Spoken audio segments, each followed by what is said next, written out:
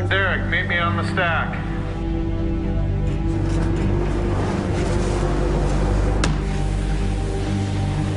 Where's Derek? Derek! Get your ass up here. This pot is not tied in.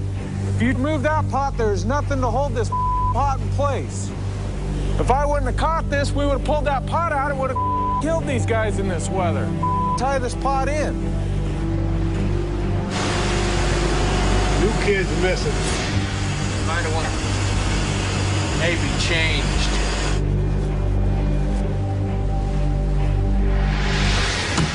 I think I'm at the point of breaking. Point of breaking what? Mental breaking? Mental breaking in two hours of fishing? Are you kidding me? It's not the work. I'm sorry. I'm, I need a. You need a what? These fools are calling me. Well, not these fools. These guys are calling me and all sorts of. Don't, I'm not a.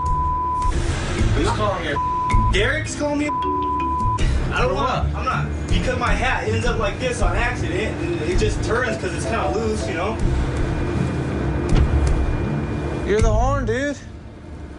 Just deal with it. In one ear and out the other.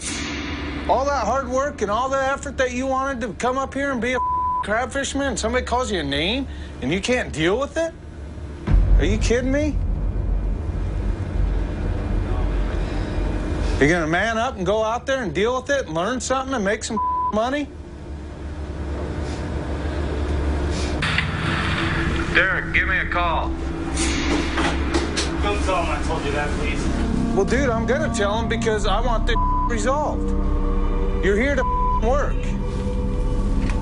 Quit with the horn, understand me? Well, he says you're calling him a he wants to quit already. Dude, we haven't even been out two hours. Show him what needs to be done. And it is what it is. Okay.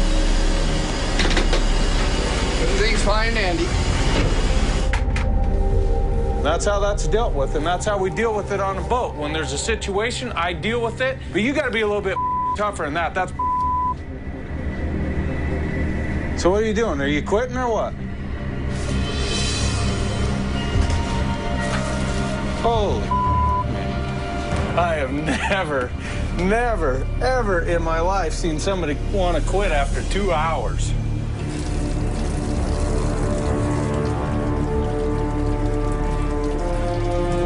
I hope that I can I can make it on the Bering Sea and not fail.